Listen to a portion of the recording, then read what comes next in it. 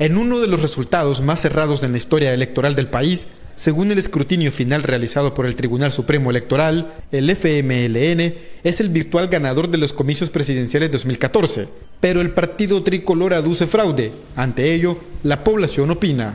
Aceptar su derrota porque ya no puede estar peleando más, que ya no tiene nada que pelear. Ya el pueblo ya, eligió su candidato, su candidato y eso es todo.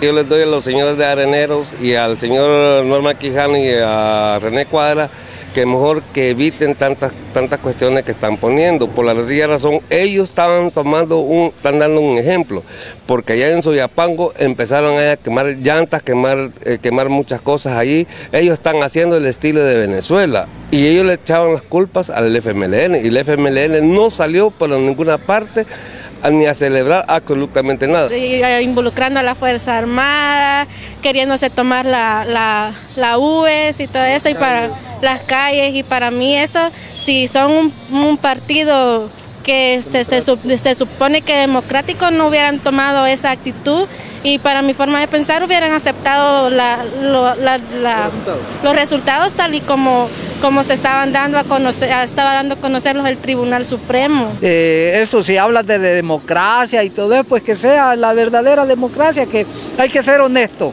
así. ¿Y me lo dice usted que es un arenero identificado? Eh, sí, sí, porque yo en mi pueblo, yo no soy de aquí de Santana, soy de Atiquizaya. Ahí, pues allá, pues aún aquí ya me conocen también mucha gente. Y yo digo que hay que ser honesto uno. Si los resultados se dieron a tal como están, pues hay que aceptarlos. Arena tenía algunas estrategias que tal vez no le resultado, no le resultaron.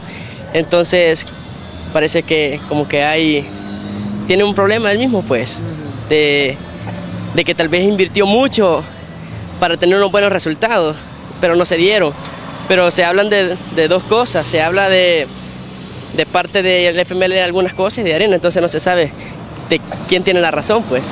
Para que el partido de izquierda sea el ganador oficial, deberán transcurrir 72 horas posteriores a haberse dado a conocer el resultado del escrutinio final. Con imágenes de Jaime Gómez, informó Luis Vanegas, ATV Noticias.